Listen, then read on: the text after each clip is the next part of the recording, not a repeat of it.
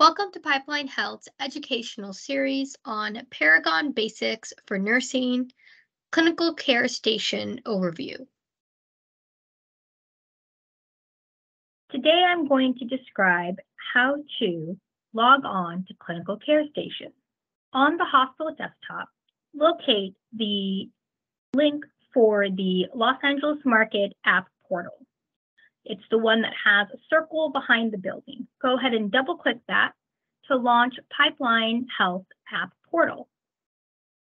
On this main screen, you will notice Allscripts Citrix. Double click on this link. This will take you into the Citrix server. Type in your username and password, then click on Log On. You now have access to the Citrix storefront. This allows you into many applications within Paragon. Directly from the storefront, you can see that the emergency department dashboard is located, as well as Paragon Clinical Hub.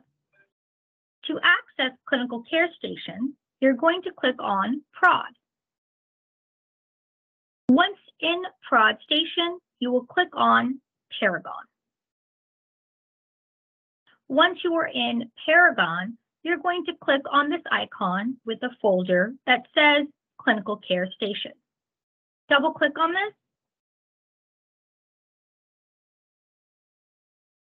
This now will launch Clinical Care Station. This is the primary application for nursing care.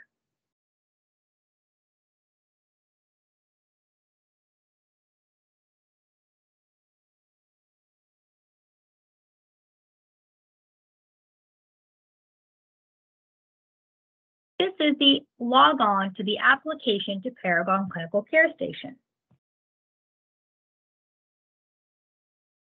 Type in your username and password.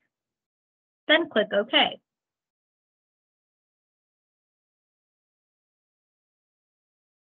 You've now been launched into the Clinical Care Station.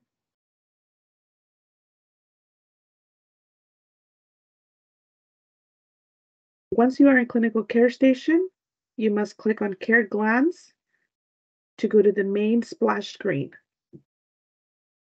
Once you are in the main splash screen, you might be defaulted to a specific location. If not, you may click on the drop down and select the appropriate unit you're in. In this case, I'm going to click MedSurg, select Retrieve on the far right to pull up the list of patients that are in the MedSurg unit.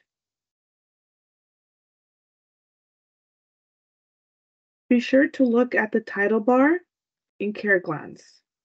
In the title bar, it'll display the application you're under and the name of the current user. Verify that your name displays under current user. If it does not, make sure you sign off and log in with the appropriate credentials. On the secondary toolbar, there is a legend that lets you know what these acronyms, shortcuts, icons indicate.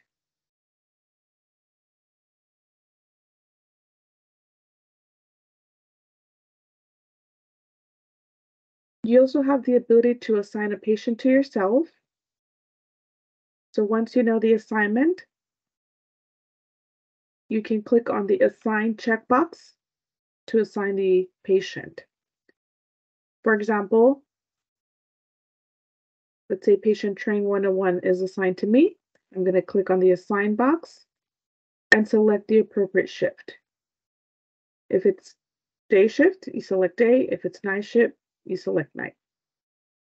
Select day, and you may also click on the checkbox to assign selected shift to all selected patient visits for current location while window remains open.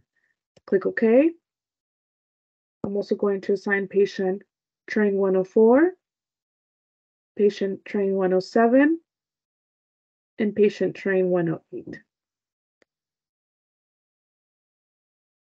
Once the encounters are assigned,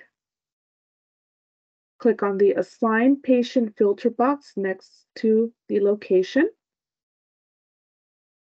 and click Retrieve. Then it'll only display the assigned patients. If you need to go back and view the entire list, be sure to uncheck the Assign Patient box, click Retrieve, and it'll pull up the entire list.